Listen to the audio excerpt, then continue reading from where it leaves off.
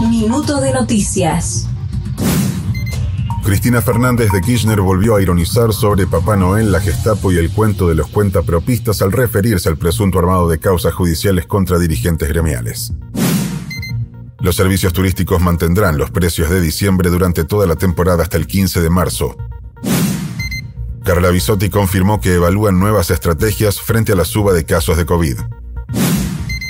En Catamarca, quienes contraigan coronavirus sin estar vacunados deberán pagar su tratamiento declaran la emergencia ígnea por un año en todo el país mientras combaten los incendios en la Patagonia. La AFIP simplificó la realización de más de 90 trámites virtuales y la obligatoriedad de su uso será progresiva. En las últimas 24 horas se registraron 33.900 nuevos contagios de coronavirus en la Argentina. Más información en telam.com.ar y en nuestras redes.